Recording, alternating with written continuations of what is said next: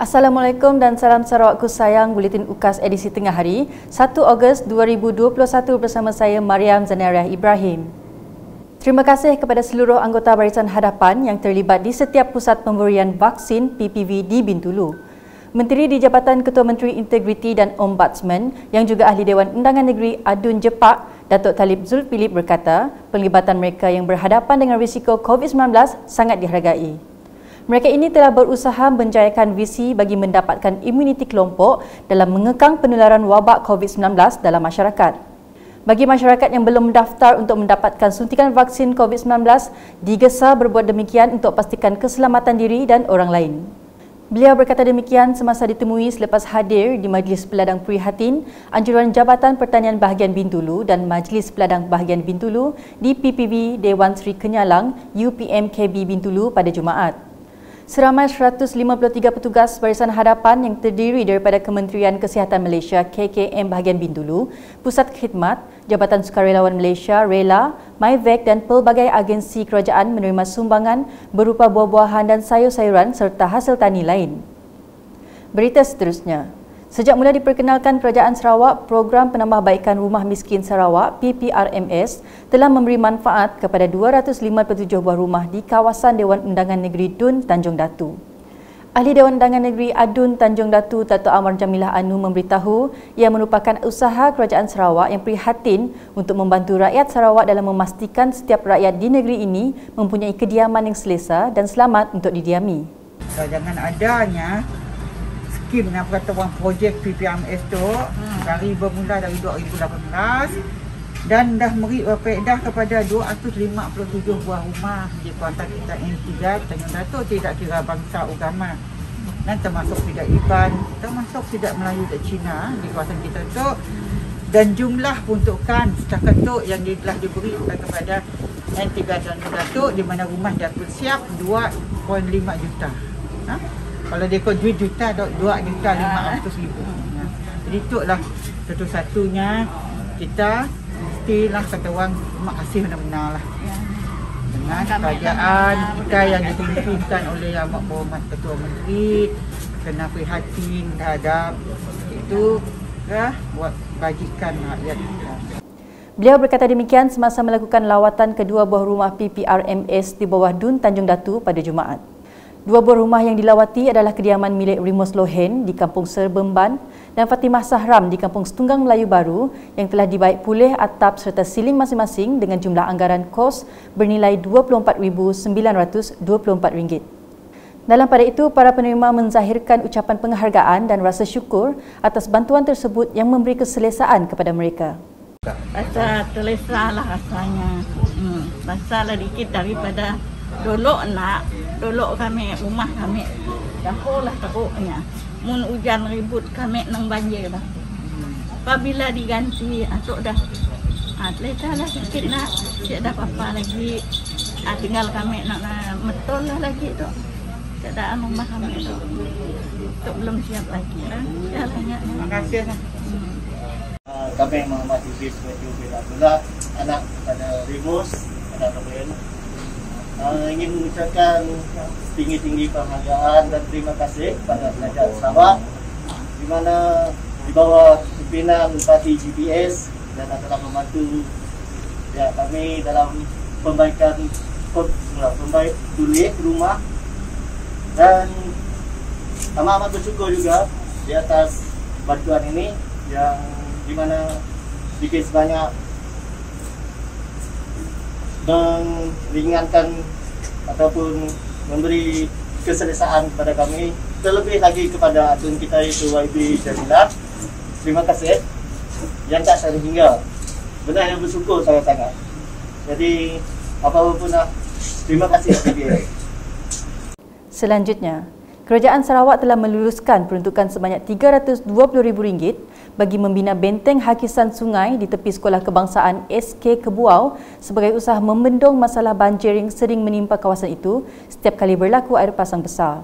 Ahli Dewan Undangan Negeri Adun Jemoreng Datuk Mursyid Diraja Dr. Juanda Jaya menjelaskan peruntukan khas melalui Jabatan Hutan itu telah diluluskan Ketua Menteri Datuk Petinggi Dr. Abang Abdul Rahman Zohari Tun Datuk Abang Openg.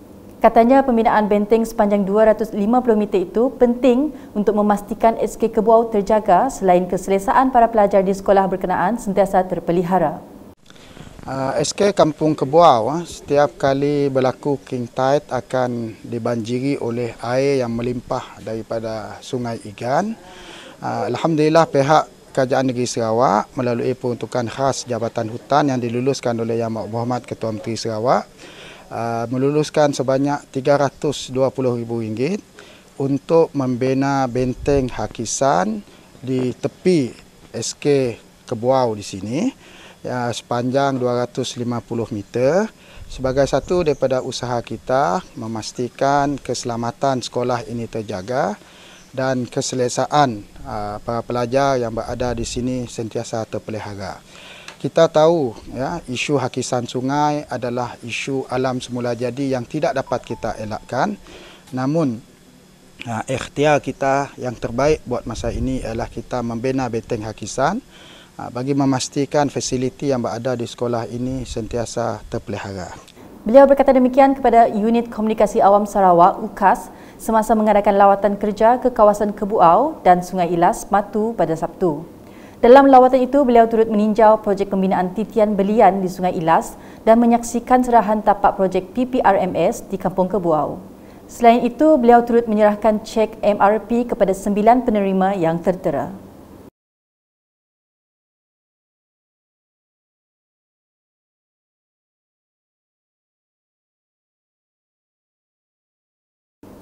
Sementara itu, Guru Besar SK Kebuau Cikgu Muhammad Hafiz Fatullah amat berterima kasih kepada Kerajaan Sarawak dan Datuk Dr. Juanda atas usaha membolehkan projek pembinaan benteng itu menjadi kenyataan. Bagi pihak sekolah, mengucapkan banyak-banyak terima kasih kerana keprihatinan Kerajaan Negeri Sarawak membina benteng sepanjang luar kawasan pagar SK Kampung Kebuau. Dengan adanya benteng ini nanti, kita rasa keselamatan cikgu-cikgu dan juga murid-murid dan juga orang kampung akan terjamin ataupun terselamat daripada bencana-bencana atau musibah yang akan uh, menimpa keadaan di kawasan sekolah ini. Tuan Rumah Lang Belon turut berterima kasih kepada Kerajaan Sarawak dan Datuk Dr. Juanda atas bantuan yang disalurkan kepada mereka. Selamat pagi, Ngagai Bala Hari Pejabat daerah matu serta ngau bala kunsil ngau kaki tangan kerajaan eh kuliah data heba rumah aku tu baka ke pagi tu bagi ngagai datuk juanda. Ya kuliah ngadu ke kami bawa menuai las tu mayu tai udah jasa udah diberi yang ngagai kami. Titi eh jematan nilas pin udah tembok degaga titi belian pin pin udah agak degaga uap uap pen bisi lalu ngeripe atap. Aku mpu pen bisi aku meri saya terima kasih ya ngagai negeri eh kepala menteri. Oleh nulung oleh mantu rakyat yang kau mana di Kanawit pula Combat Medic Vaccination Team Angkatan Tentera Malaysia CMVT ATM dan Jabatan Kesihatan Negeri JKN Sarawak telah bekerjasama memastikan seramai 215 orang penduduk di skim penempatan semula Nangga Jagau Kanawit mendapat suntikan vaksin COVID-19 dos kedua pada Sabtu. Penempatan ini adalah yang paling jauh di daerah Kanawit selain hanya dapat dihubungi melalui sungai dan jalan kayu balak syarikat swasta. Ketua Menteri Datuk Patinggi Dr. Abang Abdul Rahman Zuhari Tun Datuk Abang Openg telah melakukan lawatan kerja dan meninjau proses pemvaksinan pada hari tersebut. Sementara itu, Tuan Rumah Bunsu Ingkong merakamkan ucapan terima kasih kepada kerajaan di atas usaha mewujudkan pusat pemberian vaksin PPV Mobile Outreach di penempatan mereka. Jadi aku Tuan Rumah Bunsu mereka besar terima kasih yang ngagai perintah JPSK udah udah nganjuang udah kebijiak bisian ngagai menua ulo to. Aku kira kenara tentu jakok bukai. Jadi kami dengan jaga to bisa 24 21 ite buat rumah. Jadi bala ni miak pigai aku. Kira kami asal itu bejiak. Bejiak tucuk bisian untuk kedua to. Kami ada ke. Ya, mereka terima kasih amat amat ngagai perintah. Lepas sidah udah ngajuang ke kami menua ulo di to. Turut senada Tuan Rumah Mamat Ujai berkata, PPV Mobile Outreach amat penting bagi penduduk di kawasan pedalaman. Eh, terima kasih uh, Perintah Pusat. Mari selamat pagi. Jadi aku tu Tuan Rumah uh, Mamat Ari uh, Jagau. Kami di Jagau itu kurang lebih 21 buah rumah. Agi tinggal tiga buah rumah dulu ngelimpas tu. Uh, jadi sari itu uh, kita hanya dus kedua ya sarito. Terima kasih agai uh, Abang Jo lihat datai ga menjadi dos dua ke bekak sarito kena hari enam sarito. Uh, jadi terima kasih agai kita yang ngatur pengamak program tu agai menua kami dijagau. Dalam pada itu, penerima tertua berusia 100 tahun Belungung Radin dari rumah Mangkapat Nangajagau antara yang hadir bagi melengkapkan vaksin dos kedua. Beliau ketika ditemui menzahirkan penghargaan dan terima kasih kepada Kerajaan Sarawak yang mewujudkan program pemvaksinan kepada mereka di kawasan pedalaman. Beralih ke laporan COVID-19.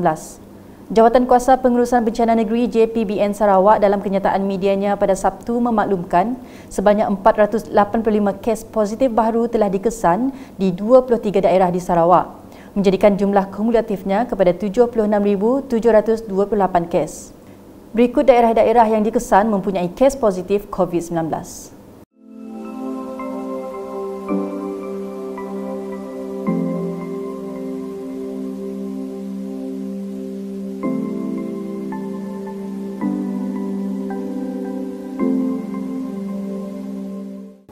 Turut dimaklumkan tiga kes kematian baru akibat COVID-19 direkodkan di Hospital Umum Sarawak satu kes dan Hospital Sibu dua kes.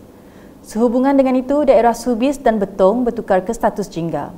Manakala daerah Lubuk Antu pula bertukar ke status hijau. Dalam pada itu, kenyataan JPBN Sarawak turut mengisytiharkan dua kluster baru direkodkan seperti yang tertera. Turut diisytiharkan penambatan dua kluster berikut setelah tiada kes baru dilaporkan dalam tempoh 28 hari. Ini menjadikan jumlah yang masih aktif setakat ini adalah 84 kluster. Dalam pada itu, berikut merupakan lokasi pengisytiharan dan penambatan Perintah Kawalan Pergerakan diperketatkan PKPD.